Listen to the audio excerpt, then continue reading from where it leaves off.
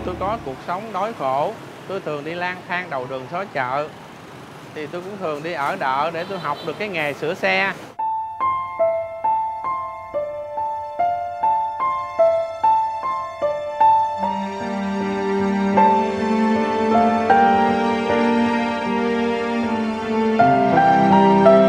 Nay tôi học được cái nghề sửa xe rồi, tôi thấy mấy em à, tật nguyền, thì tôi kêu mấy đứa em về để tôi dạy cho có cái nghề.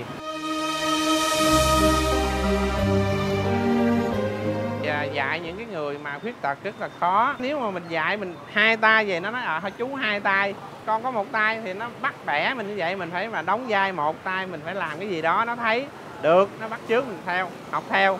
Còn mấy đứa mà hả cục chân thì mình cũng giả. Một giò mình làm mình làm cái tư thế nào đó à, nó thấy mình như một chân á. À, làm thì nó thấy nó nó tiếp thu nó học được còn mấy đứa mà tật bẩm sinh á thì mình ra dấu. Ừ.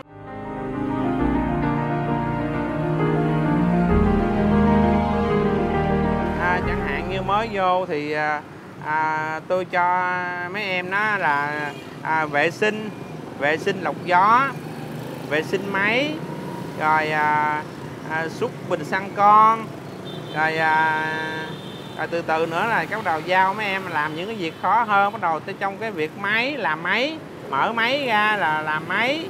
Thường thường là mấy à, em khuyết tật này á, là học nghề á, thường thường là từ 3 năm mấy em mỹ thành nghề.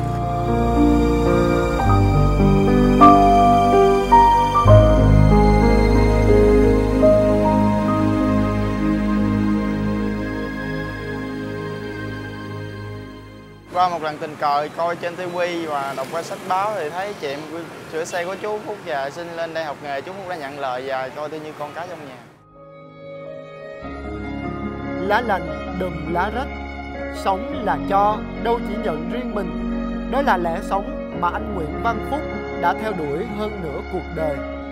Với anh, những việc anh làm không phải là từ thiện, mà chỉ đơn thuần là được chia sẻ miếng cơm, manh áo với mọi người là cách anh trơn cuộc đời khi xưa đã mở rộng vòng tay với mình. Giống như là chờ cho tôi sức khỏe, tôi sẽ cống hiến cho xã hội nhiều nhiều hơn nữa. Tôi nhìn mấy em à, có nghề, có nghiệp, có tương lai sự nghiệp là tôi cảm thấy vui lắm rồi.